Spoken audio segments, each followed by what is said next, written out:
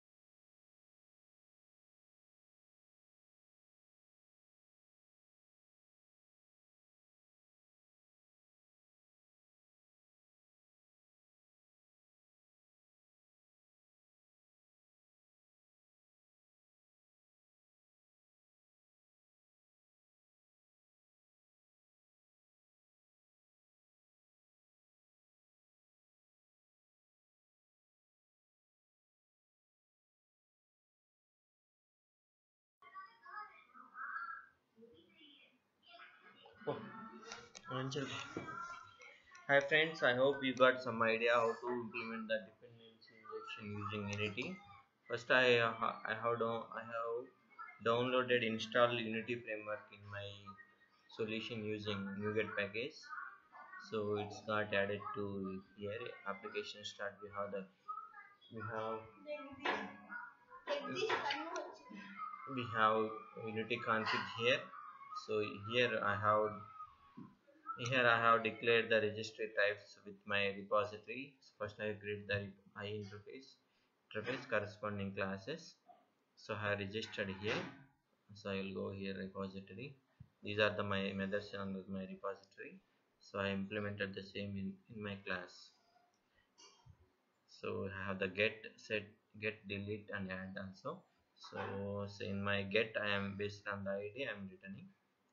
So this is my repository and uh, so after I install I have registered my repository under this unity config and after that I have one more file get added unit added unity MVC activator.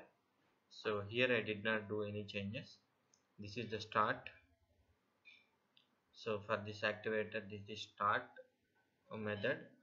So whenever it is going to start it is going to initialize this uh, uh, these lines it's get uh, these lines get automatically added so I did not change anything here. So uh, if I observe the start method we have the dependency resolver set resolver so it automatically uh, adding that uh, container to resolver method. After this what I did is I added this unity frame unity act I added I called this method from the global.asax on start method. Application start method. I added that method here. Unity ms activated the start. This is only changes I did. After this I have uh, in my controller uh, whatever I have controller that is product controller. So I have created constructor this on this controller. In constructor I have declared my repository interface here. So and I have created a local variable and I assign that uh, that repository uh, method to my local variable repository. From there I have access the methods. So whenever I run this application Unity framework will automatically identify the uh, mappings for this repository corresponding class it will automatically identify based on the config and uh, create the object and assign to here. And pass, uh, create the object pass to this my local web from here I can able to access the methods. So using this I can say I am decoupling uh, from the uh, classes. Uh, so I'm not going to create anywhere directly create instantiating any classes. Using unity framework uh, I'm able to de decouple the application. So uh, that's that's what I have idea about unity framework. I would like to share my information here. There might be some other unity frameworks also available. So uh, for today demo I just use it unity framework. Thank you. Thanks uh, for your time. Thank you for watching my video. Please like it share it and also subscribe my channel for more videos